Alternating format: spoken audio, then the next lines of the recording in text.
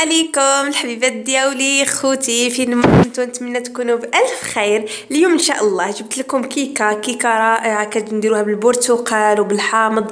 كتجي ناجحة جدا وطرية ولذيذة في نفس الوقت كما ولفتكم بالكيكات السابقة. كتجي بهذا الشكل كما راكم تشوفوا في الصور. تبعوا معايا المقادير وطريقة التحضير. يلا نبداو بسم الله. أول حاجة شنو غادي نحتاجو؟ تاخذوا الباطور ديالكم ولا الفوي ديالكم؟ عادي.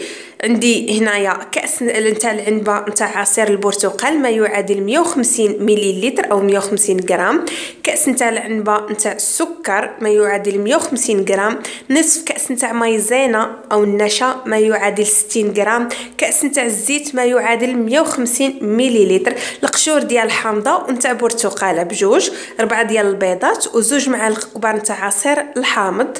وعندي 250 غرام نتاع الدقيق حتى ل 300 ما يعادل واحد 3 كيسان ديال العنبة. ثلاثة ديال الخميرات سبعة غرام في الوحدة. ناخدو الدراب ديالنا نديرو حتى باليداوي درت فيه البيض درت فيه القشور نتاع الحامض والبرتقال والعصير نتاع الليمون. كما راكم تشوفوا نضيف السكر غادي نضيفو كلشي خطرة وحدة. بهذا الشكل هذا وحنا كنضربو وحنا كنضيفو في المقادير.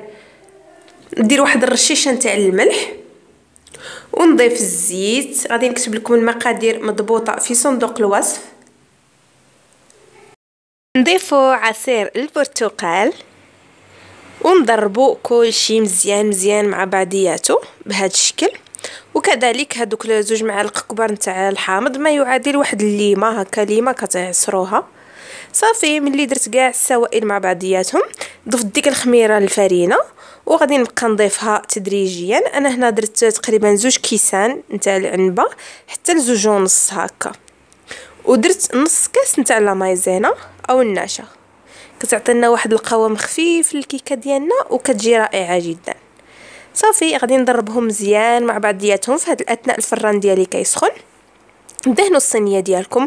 إذا بغيتوها الكيكه تجيكم طالعة بزاف ديروا صينية دائرية يعني صينيه العادية ديالكم تاع الكيكة.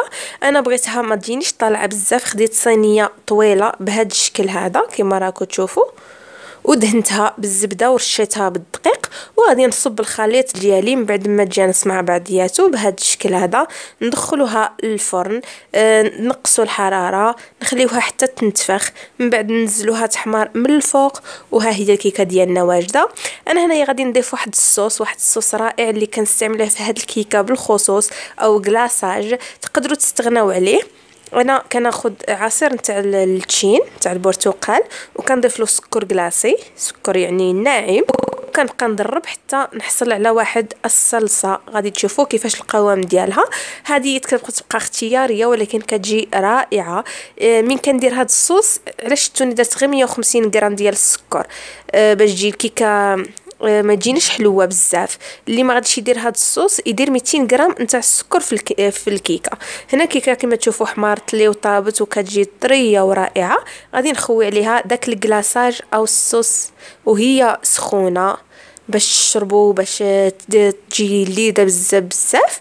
كما قلت لكم يبقى اختياري تقدروا ديروا غير confiture ولا ورشيت عليها رقائق اللوز ودائما التزيين كيبقى خواتاتي اختياري ودائما ما كاينش كي البساطة. هنايا أنا سخونة كبيت عليها الصوص في الصينية ديالها وكل شيء بغيتو حتى تحيدوها من الصينيه الدنيا هانية. هنايا قطعتها كما راكم تشوفوا وكتجي بهذا الشكل الرائع جدا بمذاق أش غادي نقول لكم أخواتاتي مذاق زوين بزاف. نتمنى تعجبكم وتجربوها. إلا عجبكم الفيديو ما تنساوش ال like الاشتراك في القناة والتعليقات ديالكم حبوباتي. وما تنساوش كل وصفاتي مجربة وأكيد ناجحة. إلى اللقاء نتلاقاو في فيديو جديد إن شاء الله مع شي واتسافا